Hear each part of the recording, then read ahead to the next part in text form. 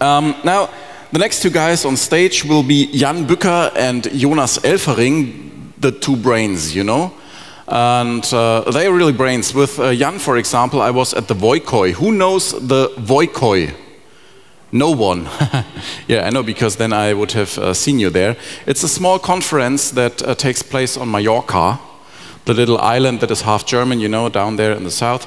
Um, and uh, yeah, we were sitting on the balcony in uh, our hotel basically the whole night and um, yeah, fantasized about ideas and stuff and things about shopware. And a lot of this was realized by Jan later on in the product, which is amazing. And uh, Jonas is one of those developers um, that sees a task and tackles it. He learned Go in about a month or something because we needed it. Some of you may know uh, why. This was the whole open sourcing of plugins and protecting your assets, even though they are open source. I don't want to be too specific, but uh, he was one of the brains behind that. So both of them are working at the Shopware core. Um, some people say they are part of the core. Not sure about that. But here they are, Jan Bücker and Jonas Elfering with insights into the core architecture.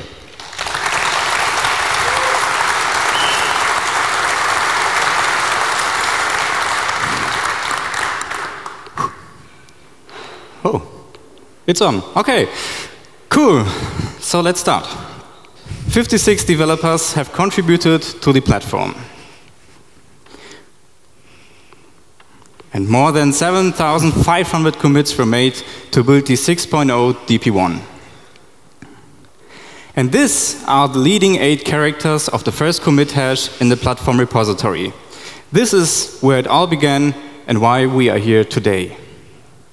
So good morning and welcome to the Inside Intel Core Architecture Talk at the Shopware Community Day 2019.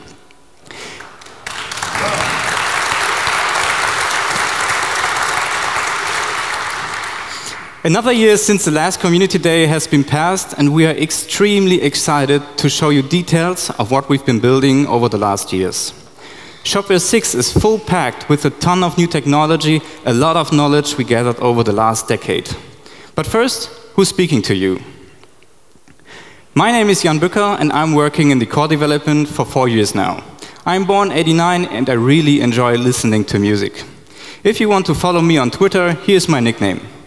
You will find me on more social media platforms with this nickname too.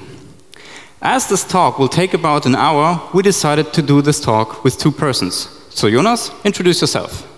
Hi, my name is Jonas Elfering and I'm a developer in the Shopware Enterprise team.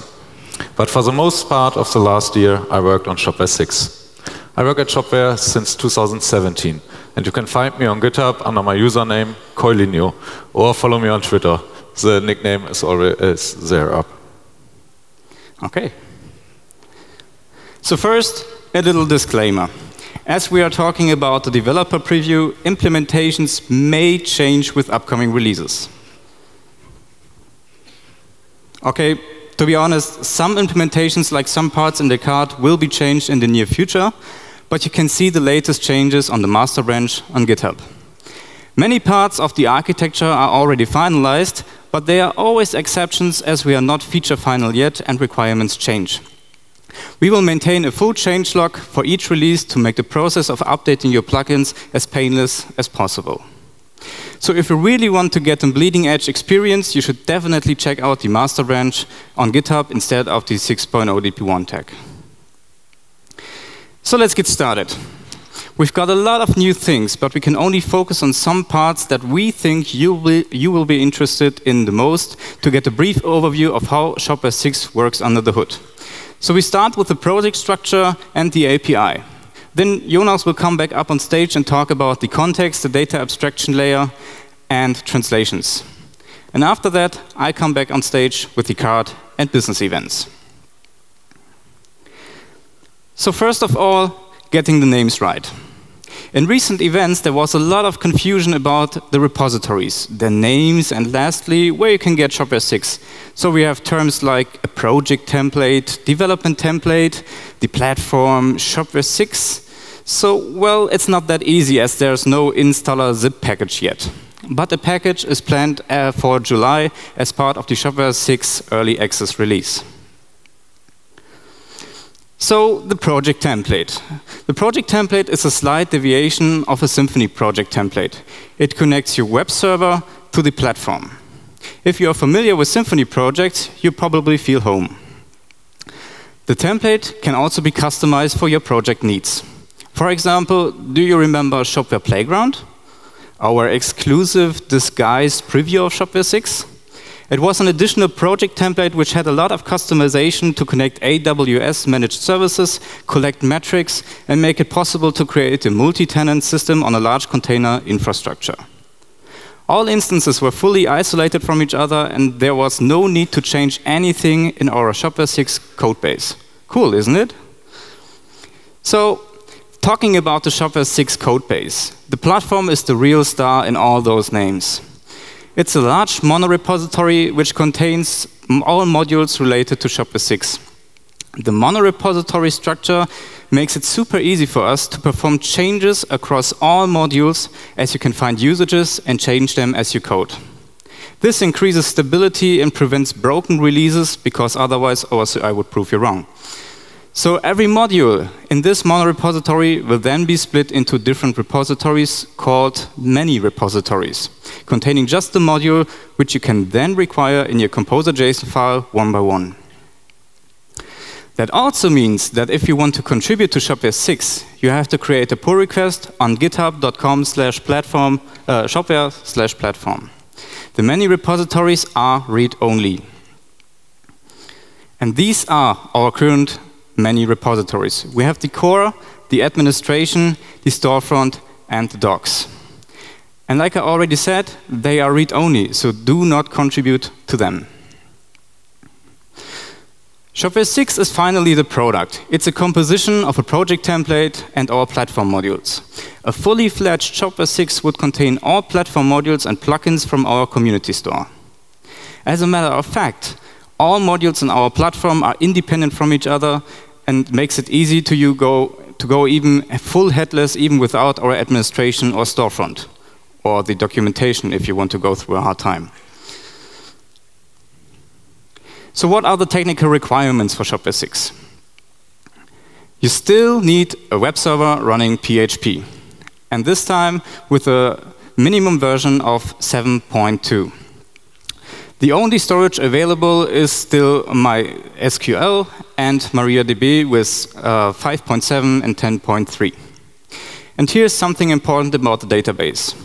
You have to set the group concat max length setting to a high value because we are using UUIDs, which are way longer than integers, and the default is way too small for our use cases.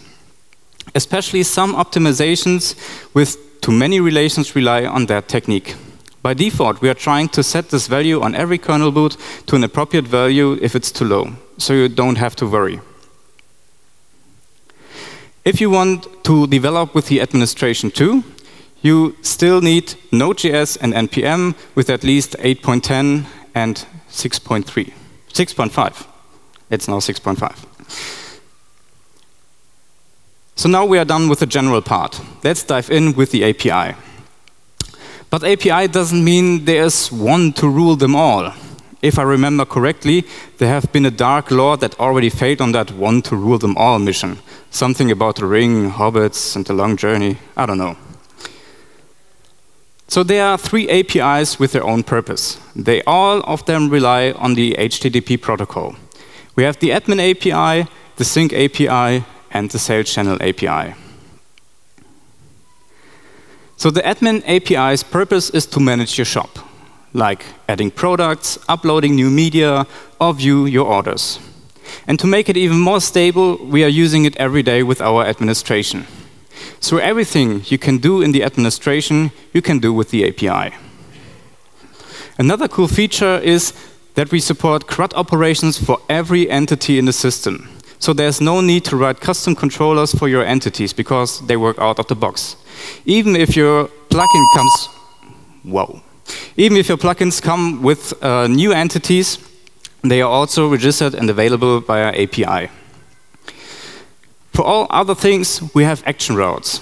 Action routes are something that isn't entity related, like running database migrations or consume queue messages, communicate with plugins or the store. The admin API is also stateless, so there's no session. So every request must be authenticated first. And authentication is not easy as there are a lot of ways to do this. Therefore, we decided to go with OAuth as it's well known and widely used. We support the three grants here the password grant, the client credential grant, and the refresh token grant. And this increases security because we are using short living access tokens and long living refresh tokens. So, in case of an emergency, you can just revoke all those tokens and you should be fine. Another feature of the admin API is the generation of an Open API 3 schema. Open API 3 is the successor of Swagger by the initiative by Google, Atlassian, Microsoft, PayPal, and some other companies. So this will be dynamically be generated, including all your entities and even with the ones from the plugins. And besides typical JSON formatted responses, we also support JSON API a specification for building standardized APIs. So you don't have to argue with your colleagues about how to respond to errors, how the pagination looks like, and how the data is structured in every response. It comes with some cool features too, like the deduplication. Imagine you're fetching from the API 10 products, and all of the 10 products have the same manufacturer. So when selecting those 10 products, you just get the manufacturer one time back. So the content size is much smaller than just a simple JSON formatted response. Another cool thing is self-discovery. So every entity, every relation comes with its own URL to point you to a new page or a new endpoint to get more information about the, endpoint, uh, the API entity or the relation. And there are a ton of libraries in various languages available, so this should be easy to adapt. The second API is the Sync API, or you can call it the admin batch API. Its purpose is to process much data at once. For example, syncing prices from ERP system. So, as it's based on the admin API, it uses the same authorization. And on the Sync API, you have the possibility to send multiple actions with one request. We have two actions here. This is upsert and delete. An upsert is no typo here. For those of you who don't know what it is, in case your entity with a given ID exists, it will be updated. Otherwise, it will be created. So you can be sure that your action results in what you intended. In the future, this endpoint will probably get faster, Edge can get rid of the HTTP overhead, and we can do some optimizations under the hood. And this is an example of the Sync API.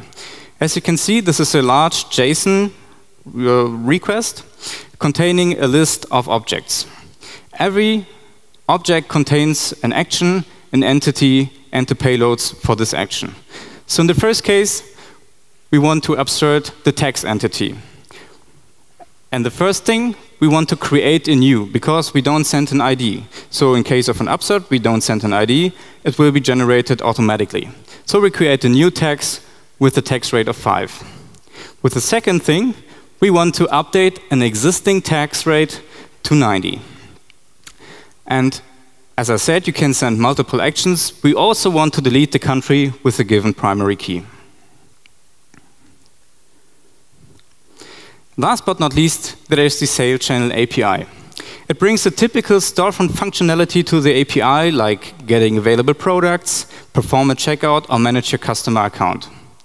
And as we know, sale channels are your interface to talk to the storefront or other third party services like Instagram or Facebook.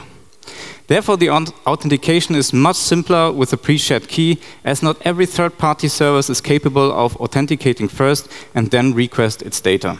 So for example, in development, we tried to connect Alexa to the API, but we had a really hard time implementing it. So you can always view or regenerate your access keys in the administration. In contrast to the admin API, the sales channel API is some kind of stateful. Every request contains a context token, which works mostly like a session. So you can browse with multiple requests without losing your cart or your logged in state. Basically, the Sales Channel, Sales Channel API is much smaller than the admin API, as not every entity is requestable. We also generate an open API 3 schema for all available routes. But in the end, every API needs some kind of context to know what you and your API are talking about. Fortunately, Jonas is here and has one in the back.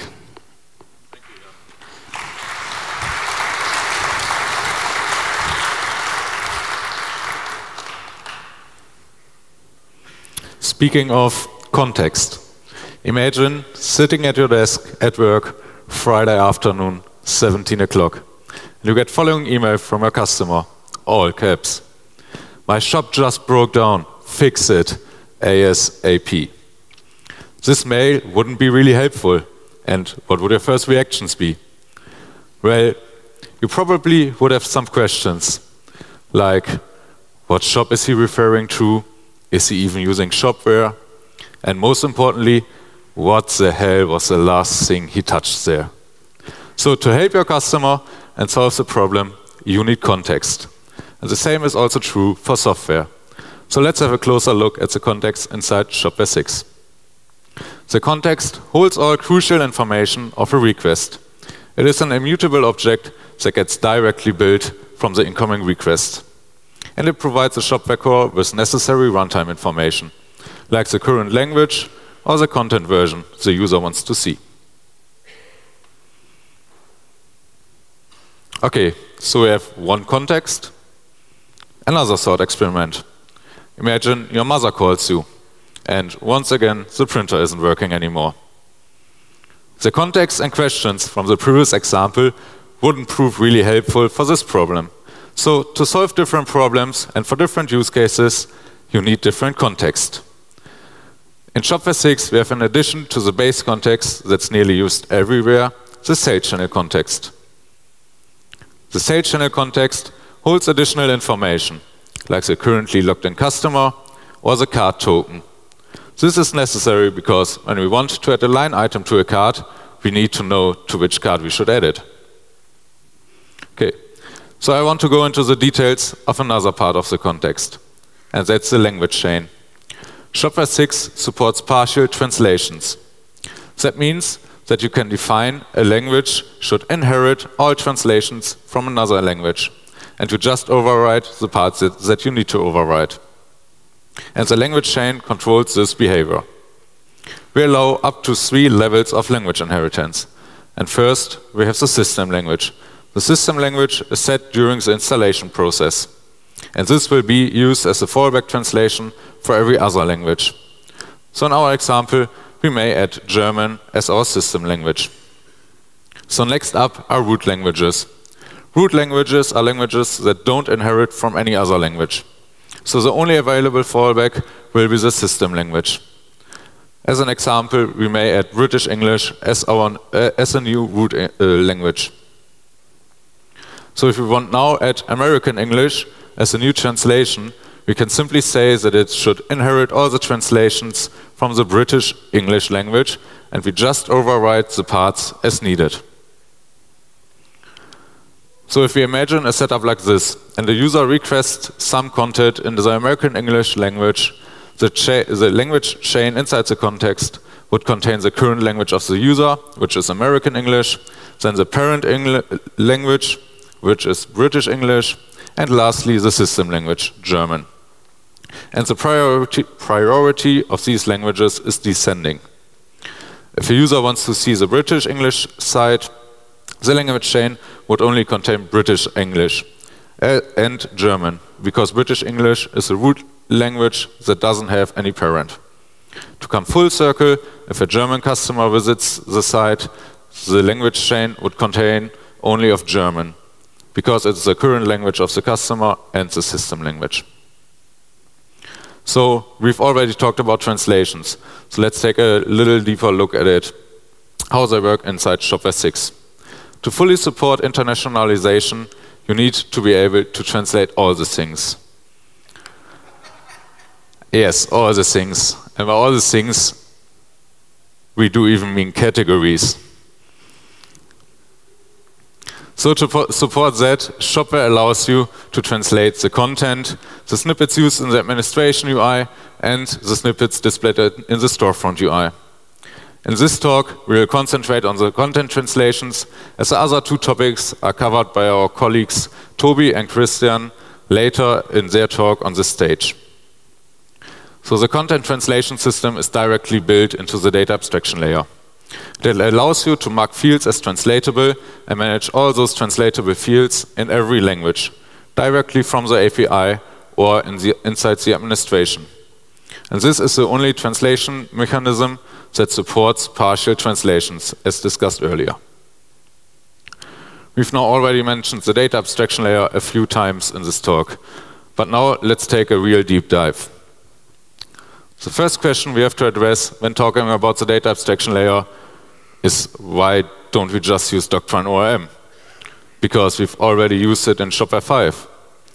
And uh, important to know is that we still use Doctrine. We use a database abstraction layer internally, but we just don't use the ORM anymore. We had some struggles with Doctrine ORM in the past. For example, we encountered some problems when we wanted to optimize Doctrine ORM for typical use cases in e-commerce scenarios. So in the data abstraction layer, for example, every operation is optimized for batch processing. Another reason against Doctrine ORM is that it was not suitable for some core concepts of Shopware 6, like the partial translations, the parent-child concept, or content versioning. The next downside of Doctrine ORM affected you as a plugin developer the most, as it was not possible to extend core entities from inside your own plugins. And Daniel showed you earlier on his keynote just how easy it is with the data abstraction layer to extend existing entities. Also, because Doctrine is a fully fledged ORM and can do basically everything, we had no way to enforce that a plugin developer use the patterns that proved suitable at scale inside the core. With the data abstraction layer, we want to give you exactly one right and fast solution for every problem you may encounter at any scale. So as the data abstraction layer was built with e-commerce in mind, um, we will discover its functionality by the use cases in a typical online shop. The first thing we see in every online shop is a product listing. So we need to be able to load some products from the storage. Therefore, we simply use a product repository We call the search method give it an criteria and the previously discussed context. We get our results back and can display them to the user. When a user now clicks on a listing, we want to show them the detail page. So we need to be able to read just one product. But the data abstraction layer or the repository doesn't provide any get by ID method or something similar. Because, as I've said earlier, everything is batch optimized. Instead, we can create a criteria object with an array of IDs it should search for. In our case, we will provide it with the ID of the product the user has clicked on. And there we go, we get our product back displayed to the user and everything's fine.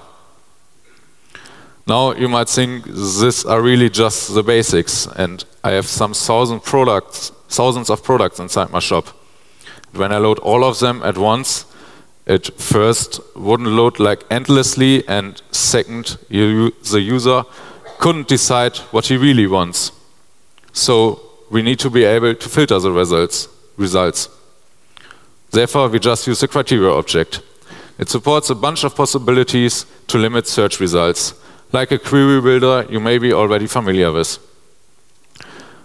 You can use a limit and an offset to paginate through, through results or specify a sorting. Additionally, you can filter the data based on multiple filters, like an equals filter in this example.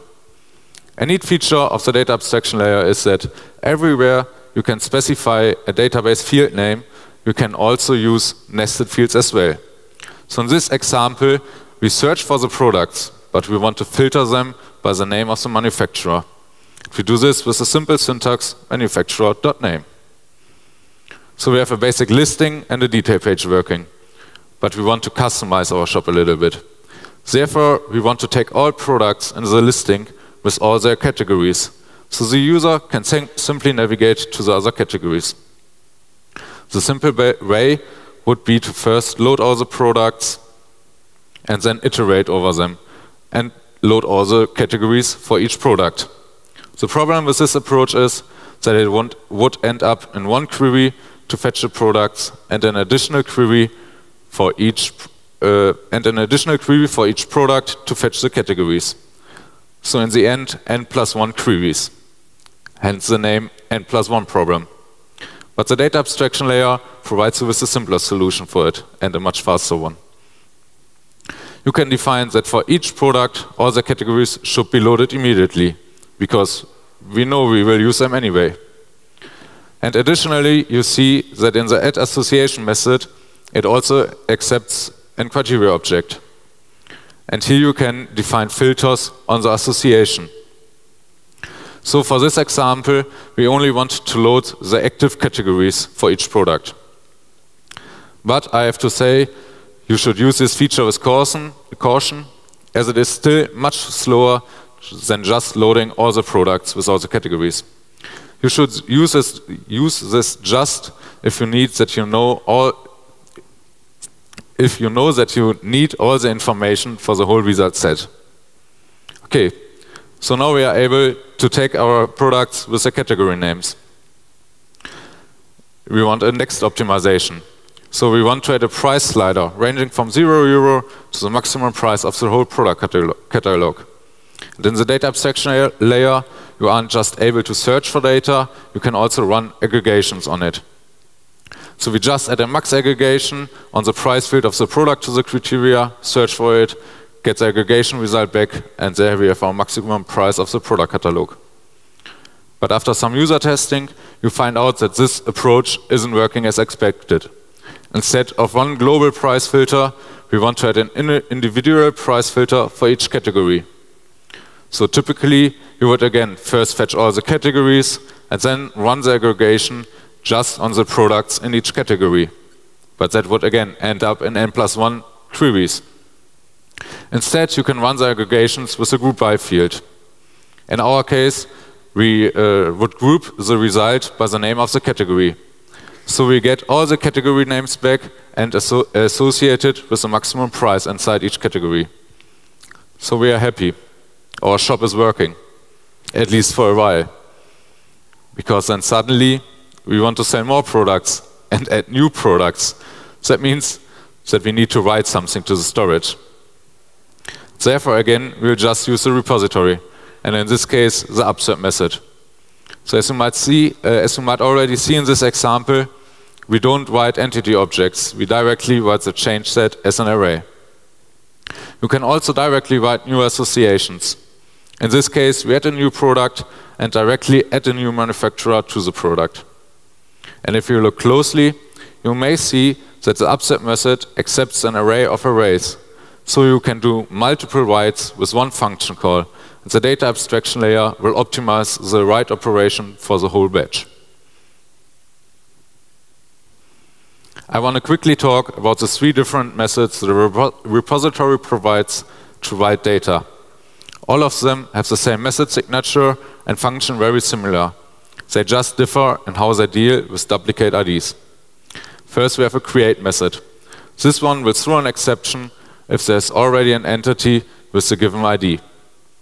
Next, you can update an entity, which will throw an exception in the case it doesn't find any entity with the given ID.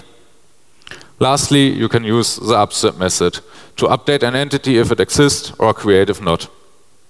And it is also possible to omit the ID for the create and the upsert method. In this case, the data abstraction layer will generate a new ID and create the entity all the time. In the keynote, Daniel already showed you how to define your own entities in the new data abstraction layer. You simply provide an entity name and define the fields your entity should have. But sadly, that was not the whole truth. There's more.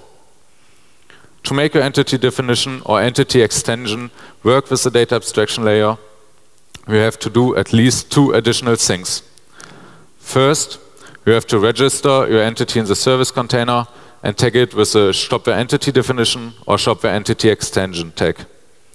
Next, you have to add a database migration that changes the database schema so your entity definitions are compatible with the schema of your database. It's optional, but highly recommended to add an entity class and a collection for your definition. The entity class is a simple struct which re uh, represents the content inside the storage. So when the data abstraction layer loads a product inside the storage, it hydrates these data in the product entity. And it provides nice auto-completion features inside your IDE. If you use any translated fields, you also have to add a translation definition. So let's see how these look like. A translation definition looks very similar to a normal entity definition. It also defines an entity name and the fields for the entity. But additionally, it defines the parent definition. That is the en entity definition that is associated with this translation definition.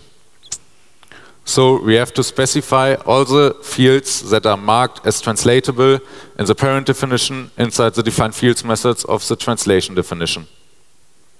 But as you might notice, we haven't defined any primary or foreign key here. The data abstraction layer takes care of this and generates a foreign key to the parent definition and to the language entity. And these two form a compound primary key. Okay, now we know how you can make fields translatable. But how does this affect our previous examples where we built our own simple online shop? And the short answer is it doesn't affect them at all. The data abstraction layer handles all this for you. Most of the cases, you don't have to care about translations at all. In this example, say English is our system language and we want to set the English name of a product to my Awesome product. We just use the update method of the repository and it looks all the same as before. When we now read the data with the same language chain inside the context, we get the, uh, we get the product back, can call the get name method on the product and get some name. We can also use the, uh, use the get translation method to get the value of the property name back. The only tricky part when dealing with translated fields is the handling of fields that weren't directly translated by the language inside the language chain, but by an inherited language. So in our example, we want to search for the German version of the product, but we didn't specify any translations for the name in German yet. So um, because of that, the getName method now returns null. If we want to get the translated value from the system language, we need to do this with the getTranslation method, as seen before. So now you may be thinking, okay, fine, this should work for most use cases. But when I want to add a bunch of translations at once, that wouldn't be very feasible. For each language, I have to set the language inside the context and then write the data. That seems very tedious. But it's also possible to write multiple translations at once. You simply provide, instead of a simple string as a product name, an array of product names and use um, the locale or the language or the ID of the language as the index key. So there you go, you write all the translations at once and the data abstraction layer can optimize this whole write operation again. Next up are sales channel entities. As Jan has said earlier, we generate admin API endpoints for every entity definition inside the system. But similar, you can include your entities in the sales channel API by providing a sales channel definition, which is an extension to the entity definition. In the sales channel definition, you can add custom criteria. Um, you can add custom criteria that should be used when you search through the API. Um, and you can also manipulate the field collection that should be returned um, when an entity is queried through the sales channel API. This is how a sample sales channel definition may look like. You can see it extends the basic product definition and implements the sales channel definition interface. In the process criteria method, we have the opportunity to manipulate the criteria object, which is used for all reads directly through the API. So here we want to just return all the active products when we query them through the sales channel API.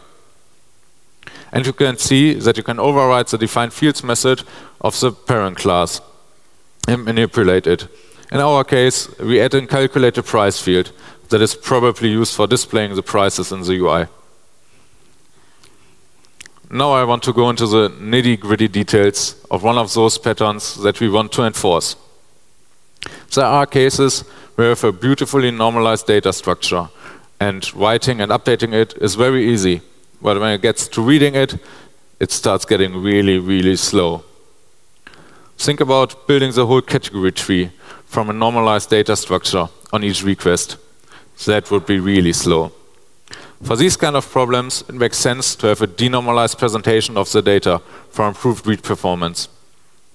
But now we have to take care of synchronizing the normalized and the denormalized data. And for this, the indexer provides you with two possibilities. The first one is to throw away all the denormalized data and build the whole index anew. And the second possibility is to only update the index for the entity that were, for the entities that were changed. The indexer interface defines two methods exactly for this purpose. In the index function, we have to completely regenerate the index. This is useful after you have imported data directly into the database. The second method is the refresh method that is called after a write has occurred. You get an entity written event which contains all the entities that were affected by a write operation and you can update and uh, you can update your denormalized data accordingly. So we've already talked about database schema migrations as a necessary step if you want to add or change some entity definitions. Therefore, we've implemented a migration system.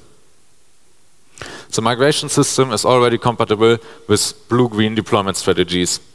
To make that work, we don't have any up and down migrations, but instead have a two-phase migration process.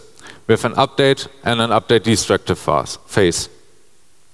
And the whole migration system is usable, usable for plugins out of the box. Let's have a closer look at the first phase, the update phase. The first phase of the migration, you have to make the schema changes in a way that must be compatible with the old and the new version of the application so you aren't allowed to introduce any breaking changes here. If you want to rename a column, for example, you can't simply rename the column because that would be a breaking change and breaks the old version of the application. So instead, you have to add a new column with a new name and synchronize the data between the two columns.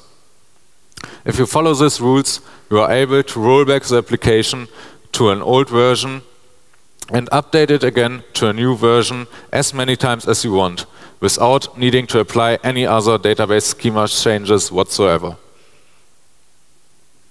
Now we come to the second phase of the migration, the update destructive phase. And here you are allowed to introduce breaking changes.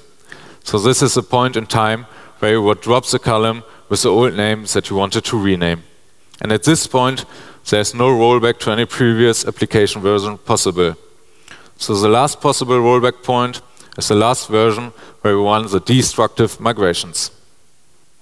If you are interested in more on this, our colleague Thomas Eiling had a talk on deployment strategies for Shopware at last year's Community Day.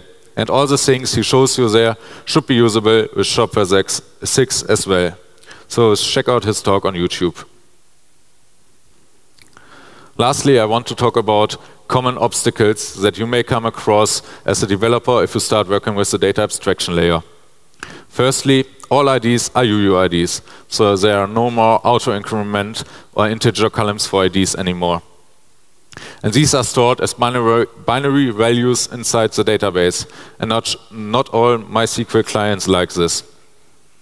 Also, at the beginning, especially if you use Doctrine ORM before, it may be confusing that we use entity objects when we read data, but for writing data, we use plain arrays. Another stumbling stone are the translated properties. The getter for these properties have to be nullable and have to be treated that way.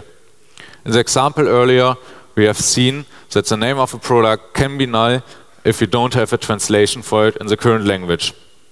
So if you deal with translated properties and you want to show them to, to the user, always access them with the get translation method, as this will return the translated value of the property.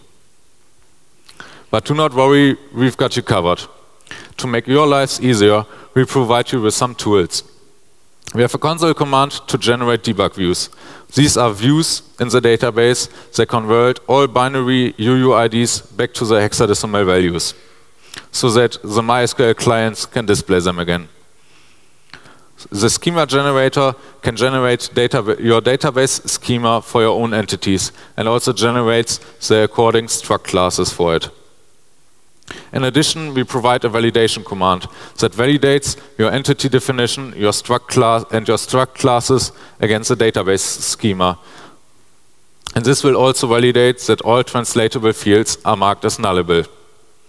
And making developer lives easier was exactly one of the main considerations behind our next to topic. Jan, please continue.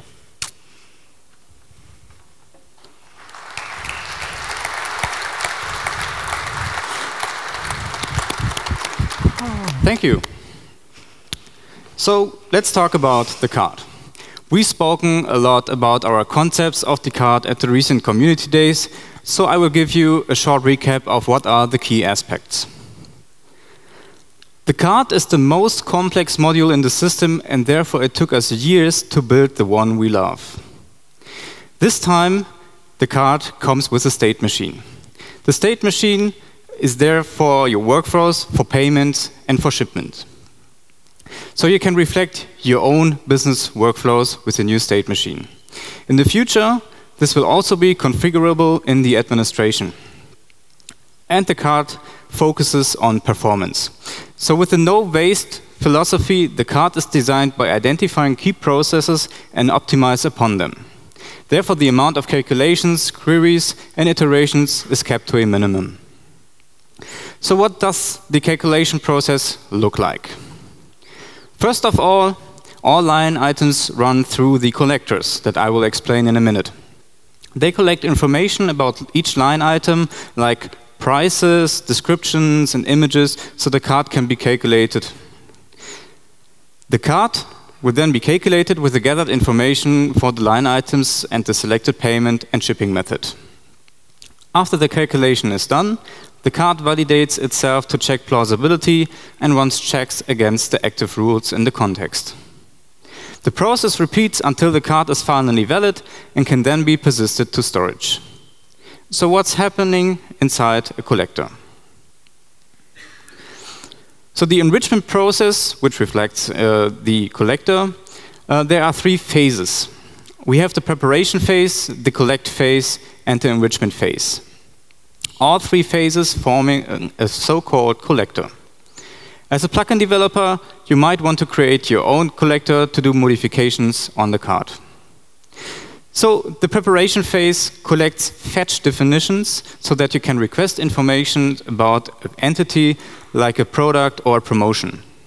Each collector requests what he needs later on. In the collect phase, every collector has to resolve the fetch definitions he can resolve. For example, the core has built-in collectors to resolve products, discounts, and promotions. A bundle collector would resolve all bundle requests. A live shopping collector would resolve all requested live shopping requests, and so on. So last, the enrichment phase then uses the resolve data to attach them to the line items, so you have all information you need to calculate the cart or when displaying them in a storefront or whatsoever. So as every phase executes every collector before continuation to the next phase, the priority in the dependency injection container is important. Another part of the checkout are payments. In Shopware 6, there are payment handlers that get executed after an order was placed. Per default, this happens during the checkout. So there are two types of payment handlers synchronous and asynchronous. The synchronous payment is selected for payments that can be processed directly in your shop, like an invoice or pay in advance. The asynchronous payment involves a third-party system like PayPal to process your payment. So let's have a closer look on the asynchronous handlers. So here's a diagram of what is happening inside an asynchronous handler. First, the customer wants to pay during the checkout. Second, we call the pay method of the asynchronous payment handler, which returns a redirect to an external system like PayPal. The customer will be redirected to the external system to complete the payment. After a successful payment, the customer gets redirected back to the shop's finish page with the information that the payment was successful. So we can mark the payment as complete in our system. We provide interfaces for both synchronous and asynchronous payment handlers, so feel free to implement your own. Last but not least, let's talk about business events. So business events are events which are tagged by an interface, so they have a different meaning in our system. They reflect important business use cases like an order has been placed, a customer has logged in, or an item has been added to the cart. They also describe themselves, so you know what's inside an event. This is important for us because in the administration, we want to know which data is contained in the event to provide the user with auto-completion in, in, the mail template editor or other actions that I will show you in a bit. And lastly, the usage is super easy as we always use one event dispatcher in the whole system, so there's no other event dispatcher you have to use or subscribe to. So this is an example of a business event. We took our example, the checkout order placed event. So it extends the generic Symfony event here and implements the business event interface. And with this interface, you have to implement the public static function get available data, which requires you to return an event data collection. In the event data collection, you add multiple properties which are available in this event. In this case, this is the order. It is a reference to the order definition. So when getting this event, you can be sure that with the given key order, you get a fully fledged order entity to process its data. But there's more. There are also actions for this business events. They are uh, like hooks, some part of and they are generic and not bound to an event, so there isn't a subscriber for every action for event scenario. So for example, we use this system to send all emails. A customer wants to reset his password, just dispatch the reset password event and create an email action. A product is on stock again, listen to the product written event, dispatch your restock event, and create an email action for it. There are thousands of use cases for it, and we are just talking about sending an email. So most events do not need further information on how to interact with actions. But in case they need, you can tag them with multiple interfaces. For example, the mail component requires a valid recipient. As we don't want to implement a custom subscriber for every event that should be sendable via email, we decided to go with interfaces to tag events for actions that need more information. Every business event is different, and so is the recipient in case you want to send an email. We cannot predict where to send an email as every action subscriber is generic and does not know anything about any business event. So in this example, we are extending our event. We're implementing the mail action interface, which comes with the get mail struct method. It requires you to return a mail recipient struct which includes the recipient, the copy, and the blind copy. So in this case, we can use the order in the event and get the customer's name and email address where we want to send the email to. So how does the dispatch work? In a normal scenario, we would just dispatch the event into the event dispatcher, and every plugin can subscribe to this event. With the action system,